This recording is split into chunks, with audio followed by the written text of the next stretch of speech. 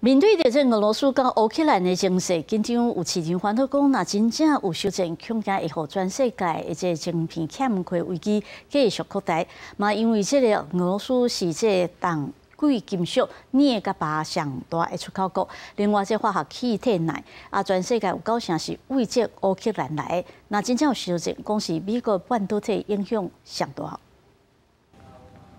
这个灶卡的水槽啊，是用三孔素白铁的材质。不过，伫制作的过程当中，内底是有真侪贵金属，其中的独占八趴。卖灶卡用品的业者表示，若是罗西亚甲乌克兰修正，产品的供应链加减会受到影响。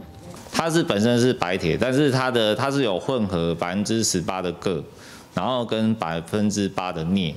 的材质去做做合成一种不锈钢。镍的那个产量其实有受到影响的话，我相信它的价格也会受到影响。其实有嘅即种金属的产品是袂少，包括电子产品、电脑、手机啊，拢会用到即种金属。还有医疗器材，亲像是手术刀、医疗设备等等嘛有。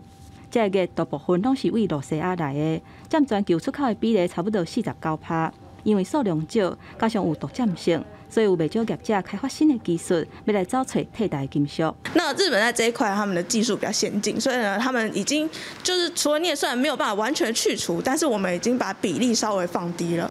有专家分析，世界上上界稀有的贵金属吧，会当用伫咧记忆体监测器，一个 Flash Memory 这种记忆体，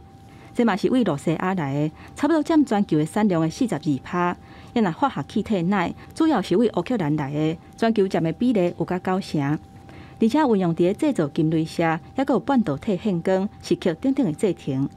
那么，即便战争没有发生，那如果俄罗斯对于美国来进行相关的一些制裁，会影响到美国半导体供应链相关所要获取金属，那相对就会比较有断链上的一个疑虑。学者表示，罗西亚甲乌克兰本来开战，其实影响上大是美国，主要是因为美国半导体的制停、金属的原料或者是化学气体，拢是为这两个国家来的。亚洲这边影响是较少，无歹都会有转单的效应。不过全球供货减少，全球欠晶片的问题，也有相关的产品供货延长的问题，百面是愈来愈吃力。